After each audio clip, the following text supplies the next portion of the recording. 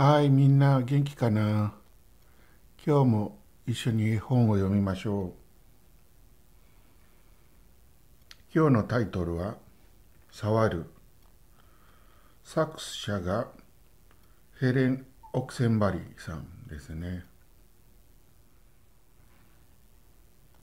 ボール。大きな色付きのボールですね。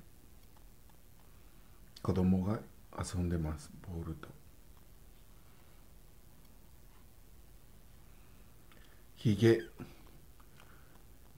おじいちゃんですね。いっぱいひげが生えてます。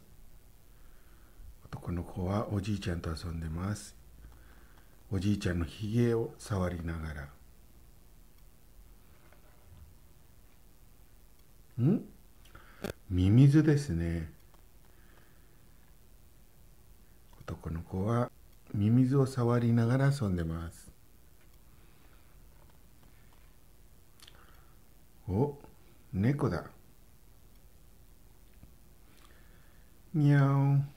一緒に遊んでます。触りながら。お、大きな蛇口から水が出てます。イエーイ、水を触りながら遊んでますね。楽しそう。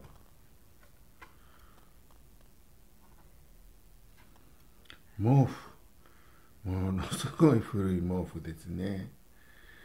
だけどこれがないと眠れないもんね。触りながら、あ、指をなめなめしてますね。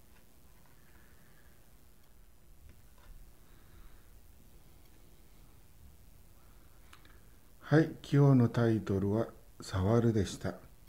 また次回もお楽しみください。ありがとうございました。